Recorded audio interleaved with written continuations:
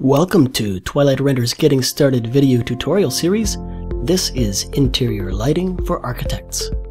Follow this quick checklist before starting your lighting and test rendering to give maximum workflow speed. Hide any extra geometry that will not affect your final rendering. Extra geometry will slow your rendering as the computer calculates for each object how it affects the final image.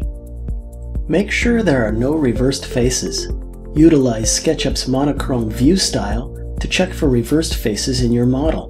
The proper normal of each face is important for the calculation of reflections and refractions of your materials.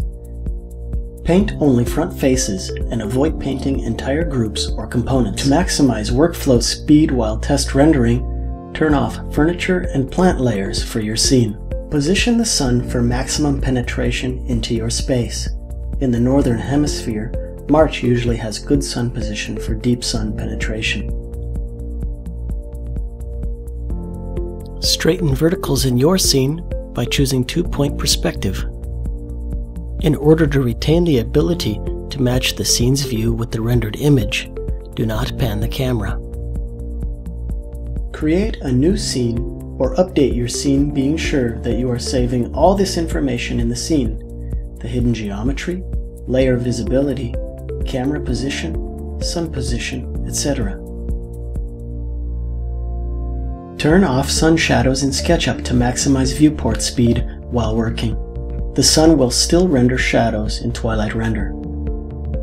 Purge unused information from the SketchUp file to clean up any junk information left behind from the building process.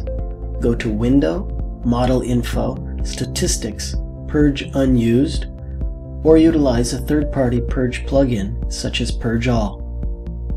Place lights only where they would be placed in real life. Avoid faking fill lighting. In some cases, creative light placement can serve an artistic purpose, but in general, avoid adding lights where they would not go in real life. Many lights can increase render times. Keeping lighting to minimum is best. In a scene with hundreds or more lights, try using render setting low or you may need to use the Easy 09 render setting for interiors. Set reasonable wattage or lumen power for your lighting. Use manufacturer suggested light powers whenever possible. Increase the effect of lighting in the scene by setting the correct exposure or by adjusting the tone mapping of the rendering, not by increasing the power of the lights. Twilight Render V2 Pro users can jumpstart their lighting when they find a similar light component from the Twilight Render light component package available in the red carpet section of the forum. See a link in the description of this video. Once you have installed the Twilight light components, find a light similar to the one you would like to create. Then copy the materials and light objects that you think are similar to your needs into the light components in your scene as a good starting point.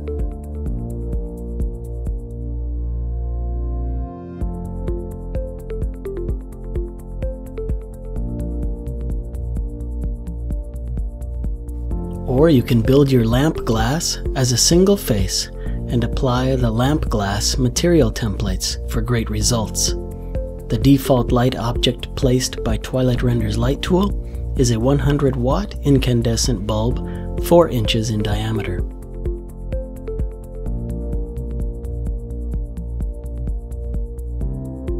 Use SketchUp components for any duplicate light fixtures in your scene. This way, Whenever you set the lighting for one object, it will be set for all of them.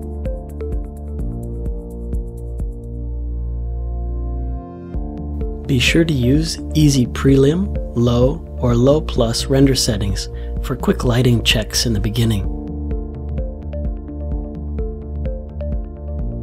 In the environment settings, try using a spherical sky with a tree line in the spherical sky slot.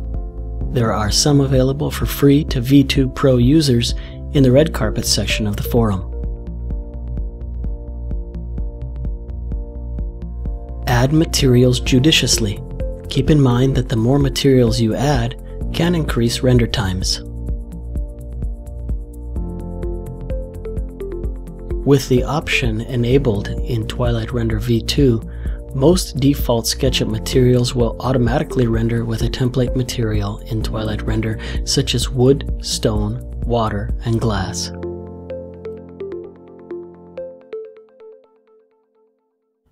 Increasing the number of reflections in the scene will increase the bounces of light to be calculated, and therefore increases render times. Blurry reflections and blurry metals and translucent materials will increase render times. Avoid fully saturated colors. If a material color is set to 100% brightness, then 100% of the light hitting the surface would be reflected away from the surface, which is not possible in real life. No pure blacks, whites, or pure colors should be used. Avoid light emitting surfaces. These will increase render times. Never paint curved surfaces with light emitting materials as each triangle in the model will be considered as a light in the scene. The exception is if you are rendering with easy 1 through 7 render settings and set the light emitting materials to be fake. This results in the material appearing to be lit up while not actually projecting light onto any surface in the scene. Then you will use a spot or point light for fill lights. Interiors with several lights can be rendered with lower render settings while still giving good quality at quick render speeds. If time is not an issue, Easy 09 will generally give you the best quality lighting results and materials for architectural interior renderings. Architects in a hurry will find the 04 medium render setting to be quick and useful for interior spaces lit with up to 50 lights. Edit your lights from the Edit Light dialog. Anytime you place a light inside of a component, it will list the light as being placed only once, even if you have 20 copies of that component in your scene. Set the light power based on the manufacturer website information for the lumen output for your light fixture. If this is unknown, use wattage. If you load a manufacturer IES file into the light component, leave the power to be 1 causing the light power to be defined by the information in the IES file.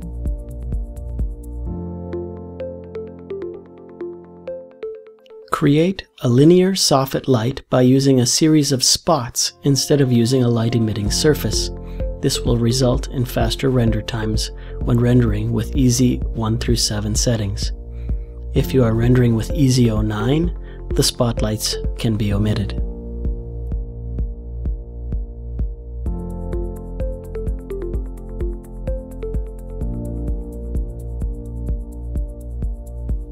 If rendering with EZ09 or EZ10, the light emitting surface in linear light fixtures will work well. Paint the light surface with a unique material. Choose your material with Twilight Material Editor's eyedropper, then choose Templates, Emitter, Incandescent 60 watts. Then you can set the lumen output for all faces painted with that material combined.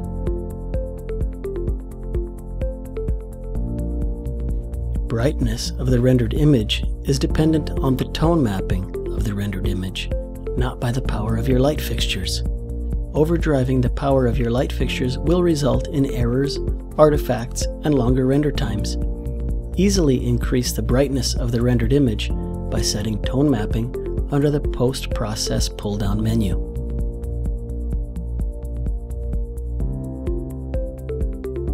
Here you can choose between linear and simple tone mapping options where you can increase either the light and dark of the image or increase the exposure or gamma qualities. Place a spot or point light inside your light fixture approximately where you would place the actual light bulb in real life. Then set the appropriate parameters for the light object. Place a spotlight by inserting light with the Twilight Light Editor tool. Right-click before placing the light to set the type of light you want to place. Then, you'll click in your scene three times. The first click is to choose a reference point. Second, to move the mouse from your reference point to the insertion point. And your third click to specify the direction for the throw of light from the spot. You do not want your light to conflict with adjacent geometry. This is the purpose of a reference point. In the light editor, you can change the light type. You can adjust the settings for the spotlight, such as giving it a name, changing the radius, set the power in watts or lumens, set the fall off angle where the light will fade to black, set the hotspot angle where the light will remain at full intensity.